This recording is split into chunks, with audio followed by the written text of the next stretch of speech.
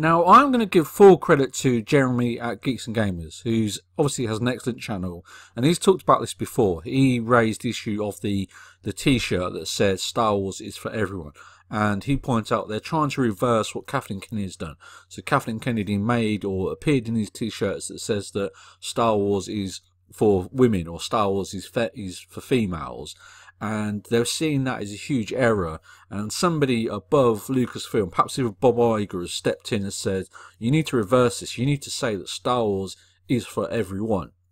And because we want to attract everybody, all six billion people in the world, they could be a fan or a customer of Star Wars. And that's how it should be. That's completely normal. And you're going to see this more and more. You're going to see the reversing of what Kathleen Kennedy has done. So they're going to try and strip out the political messages of Kathleen Kennedy, which has isolated certain customer groups. And this particular clip, which I'll link to, it's with it's with the actor who plays Chewbacca, Eunice Stallmeyer. Stallmeyer. I'll probably say his name terribly, but this this panel is obviously almost scripted, and that makes complete sense, quite normal. But they would have a lot of preparation. The marketing department would give them words to say, perhaps even a whole piece of, of dialogue to read to say to the audience because it's it's the messaging of the marketing department that they're trying to get across and then there'll probably be rehearsals for this sort of show that's that's completely normal but what they've also done is injected in this messaging of they're trying to reverse the damage that Kathleen Kennedy has done and they use the actor of Chewbacca to do that and the reason is that he's quite a obviously he's wearing a costume, so they wouldn't use Rose. They wouldn't use Rose Tico or the actress that plays Rose Tico to do that because obviously we've had a lot of controversy surrounding Rose Tico. So they'll brush that under the carpet, but and they'll leave somebody else to do the talking for her. And that's what that's what the actor who plays Chewbacca is doing in this segment. He says that he can remember as a child, and he says that you know Star Wars is, and he says, regardless of whether you're tall or big, Star Wars is for is for everyone, and you, they, you're going to hear that more and more. That Star Wars is for everyone segment is going to be repeated and pushed, and they're to you're to feature in in they're to say it in interviews because the marketing department want to make sure that everybody, whether you're Chinese, black, white, Asian, South American, male, female, transvestite, any anybody who has access to money can be a customer of Star Wars, and that's how it should be because movies should be made for everybody. If you like a movie, go and watch the movie, enjoy the movie. If you don't like the movie, go and watch something else, or go or go and go and go go to the swimming pool or go to the gym. That's the how life should be. But Kathleen Kennedy wanted to make Star Wars for women because she wanted to promote the role of women in society. And film is not the role to do that, or blockbuster movies is not the place where that should happen. So the, they're repairing what Kathleen Kennedy's done, and the virtue signalling from this particular actor, the the gentleman who plays Chewbacca is what they've done in this stage scenario. And also, Jeremy, whilst he's there, he says that there's so much virtue signaling. He calls it out. So I'm just trying to add a bit of detail so to what Jeremy appears to be saying. I don't want to I don't want to speak on behalf of Jeremy, obviously, but just to give a different interpretation of what is happening is that Star Wars and Lucasfilm are going to push, are going to reverse what Kathleen Kennedy has done. So it's going to be, it, this movie is going to be called Star Wars. The, the, Star Wars is for everyone. That's the title of, of this movie. They're going to try and bring back all those Star Wars fans that have lost because they need the money. And also the toys, they're going to have to somehow identify what's happening with the toys because you've got to remember this is business. Bob Iger is essentially like an accountant. He's like a businessman accountant. He he will sit down with accountants to get these financial reports and, and he'll have targets. They'll say, right, we want to sell half a billion dollars worth of Star Wars toys each year. If they're selling two hundred million dollars or three hundred million dollars, why? Why is that happening? He will throw his his chair, you know, he will throw muck about until he gets answers. That's his job. That's Bob Iger's job is to make money, get those cash tills ringing with Star Wars toys being sold to parents to give to their children for Christmas. If that isn't happening, the shareholders are not going to be happy, and the shareholders will sack up Bob Iger, and Bob Iger will lose his $65 million a year salary. That's, that's what all this is about, and that's all part of capitalism. So they need to identify why this toy is not selling, and if it's because they're focused on these these groups of customers, i.e., in this case, females or women, then even women themselves, because most women don't consider themselves to be feminists, so they're going to see right. This these movies are targeted at feminists. Even though I'm a woman, I'm not a feminist because I don't believe in dividing people and then having Disney pay women less than men, even though they're making movies based on feminism, which is complete hypocrisy. And women know this. Women know that the female staff working for Disney are being paid less than men, yet Disney are paying women less than men anyway. So, the, so if you take all of the hundreds of millions of women out there, they know what's happening. You can't fool everybody. You can fool some people. Captain Marvel has fooled enough people enough people for them to make a billion dollars, and that's that's what they've done. But you can't fool everybody all of the time. It doesn't work like that.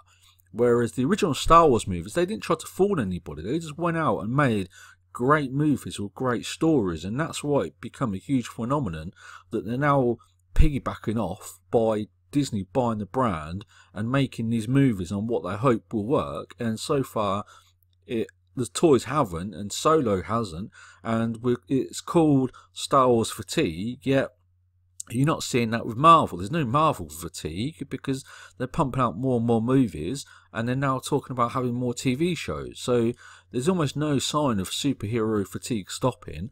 The only reason why there's talk of Star Wars fatigue is because they made a right mess of it, and the and the movies not really that good. If if you know if you made if they made Star Wars movie come out every month and it was great movies that really opened your eyes like the original Star Wars movies did, because George Lucas wanted to in, include these very you know political systems like the Roman Empire and Buddhism with with Yoda and his you know his high intellect of understanding those concepts and putting them into storylines.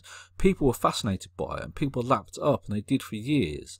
The, the movies are still hugely popular because they're such high intellect. Whereas what they've tried to do is just throw these special effects and have a young female character who has no real interesting background and just appears to be a Mary Sue.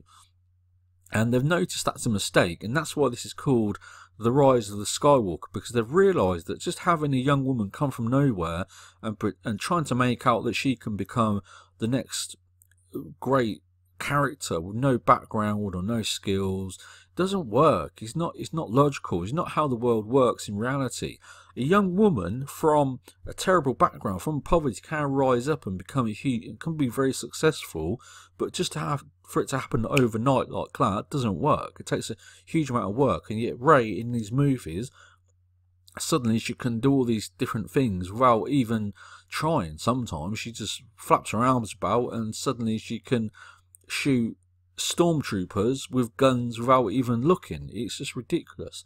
So they've realised they've made a mistake, and this whole virtue signalling based on the Star Wars is for everyone. You're going to see it more and more. So you, you are going to be sick of hearing the, the, phrase Star Wars is for everyone because they're going to try and repair what the mess that Kathleen Kennedy has made.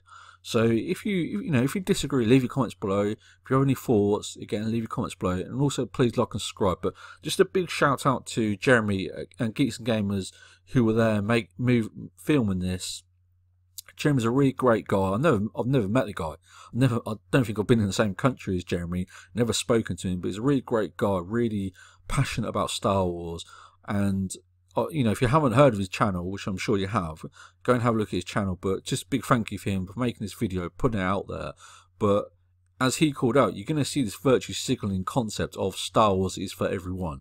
It's going to be everywhere. It's going to be a major part of the marketing for Star Wars, not just in this movie, but going forwards over the next five or ten years, because they want to pull back all the money they're losing, and they'll realise that Solo could have been could have made more money. I'm not saying it would have been a billion dollar hit, but it could have made another hundred or two hundred million dollars if they recognised that Star Wars is for everyone, and not like Kathleen Kennedy thinks that Star Wars is just for women. When perhaps even, I wouldn't be surprised if most women, well, most women aren't really interested in Star Wars anyway. So Star Wars isn't for women because I would say only about 10 or 20% of of women, if that, would even consider really being passionately interested in Star Wars. So Star Wars is not for women, and that's just that's just a fact of it. Star Wars was made by men, supported by men, and probably makes 19 to 95% of its money from men. But, you know, if you disagree, if you have any facts, I'll be interested to see them. I'll be really interested to know just what percentage of their revenue, of Lucasfilm revenue, actually comes from women. But if you go by the people that watch YouTube videos based on Star Wars, it's around 5% is only women. So for Kathleen Kennedy to target women, she's going to slash the audience in obviously in half by eh, excluding men. Then she's going to slash it by 95% by only targeting the 5% of women. So, doing some math, she's probably targeting about 3% of the world's population. So, Star Wars is not going to be successful if you take 6 billion people, then slash it by 97% before you've even made the movies, which is what Kathleen Kennedy tried to do. So, Kathleen Kennedy is just ridiculous. She's a joke. And that's what they're trying to repair the mess that Kathleen Kennedy's made. So, Again, leave your comments below if you like or disagree. That's, that's completely your choice. Leave your comments below and also please like and subscribe because we're going to discuss this more and I'll be really interested in, in your thoughts. So thank you for watching.